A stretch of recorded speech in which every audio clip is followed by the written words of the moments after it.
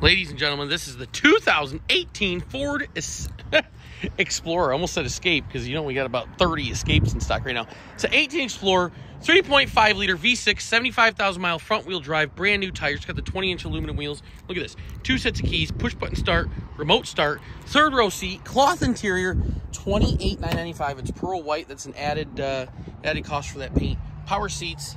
Look at this. Oh, Ford navigation, Apple CarPlay, automatic headlamps, got the trailer tow hitch on the back. Oh my gosh. 60-40 split folding in the back. So we have one, two, three, four, five, six, seven passenger seating. Look at the rubber. Get your road maps out. Brakes are new. Dialed in. Look how clean this thing is. All right, so let's let's check this out. Push button start right here. Three zone heated seats, dual zone climate control. It's got the big seven inch screen with the backup camera. Check it out. 75,000 miles. There's your navigation, Apple CarPlay, heated seats, all the controls there.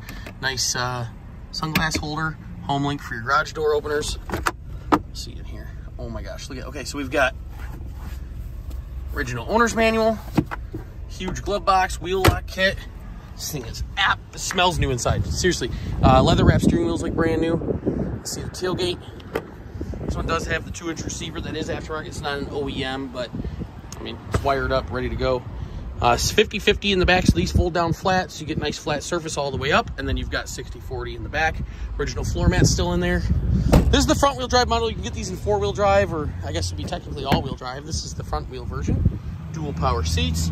So this is very well, very, very well equipped. Check that out.